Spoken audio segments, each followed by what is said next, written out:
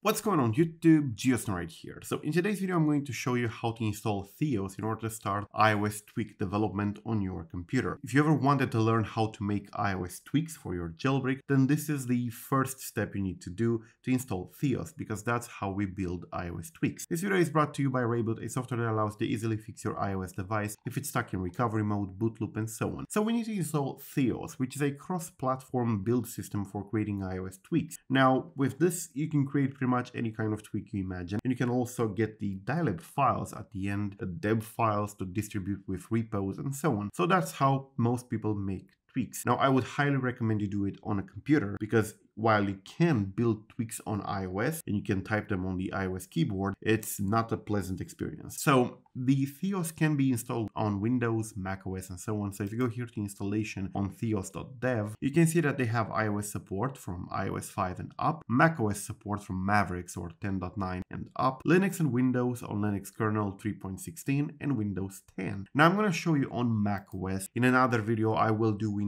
as well. But if you want to get started with tweak development, this is the bare minimum you need to do in order to get yourself going. To install Theos, you need Homebrew, and Homebrew can be found on here. So it's brew.sh. This is the command you need to paste. You press this button over here, go into a terminal window, go ahead like this, and press enter. This will install Brew, but you need your password first.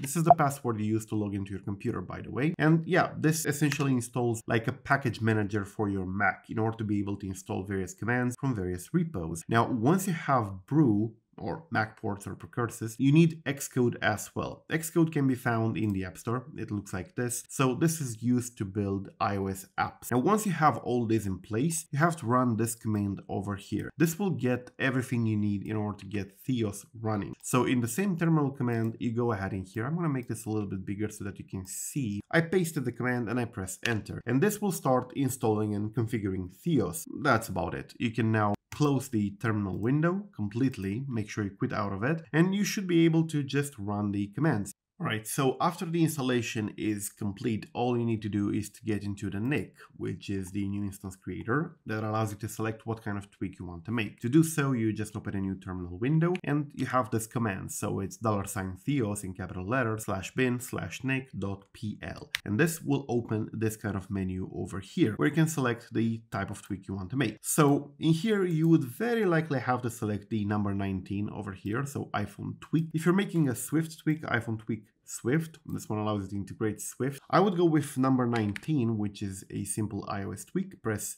enter and we're going to have to give it a project name. So it's going to be test, test tweak, then you're going to have to give it a bundle identifier. So like com.apple.something. So in my case, it's going to be com.geosnow.test tweak. It can be anything really. And then the author maintainer and then the mobile substrate bundle filter. Essentially, what will this tweak be for. If you want it for Springboard, you can have com.apple.springboard and the list of applications to terminate upon installation. So dash for none or Springboard. Let's say Springboard because we would want it to respring and that's it. Now it has created in the working directory, in this case on desktop, the folder containing the tweak itself. So that will be tweak.x. This is where your code will be. Then you have the tweak plist and this one contains information about the tweak itself and the filter and whatever so what bundles are supported in which apps you want to inject it. Then you have the make file which will build the tweak a control file and that's it. So here in tweak.x if you open it in xcode or any file editor really you're going to see this template over here. You can remove this and start building your own or you can work around it but um, you essentially have to use the same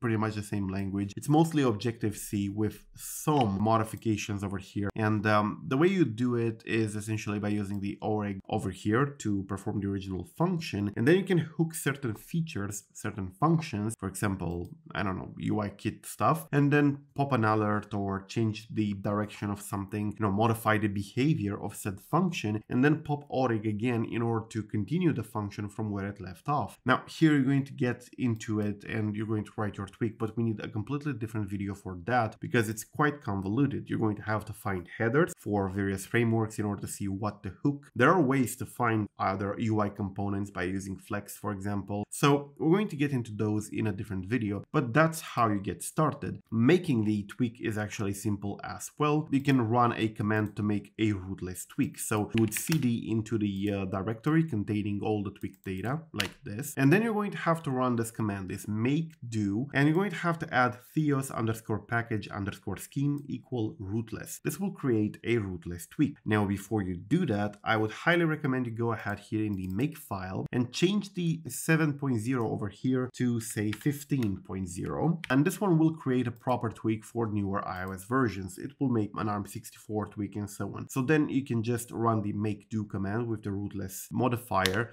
and it will build the tweak. That's how it builds. So as you can see, it says installing over here. We don't need to install it. We can press enter and that's it. Here in the packages, now we have the deb file for our tweak. Even though it's an empty tweak, it did compile. So that's how you would compile it. You can pop it now on the device and test it. So yeah, you can do tweak development on Mac OS. You can also do it on Windows. It's a little bit more complicated, but it can be done. We want to explore that in further videos. So that's it for the part one of this making iOS tweaks saga. So thank you for watching. I'm GeoSn0w. Peace out.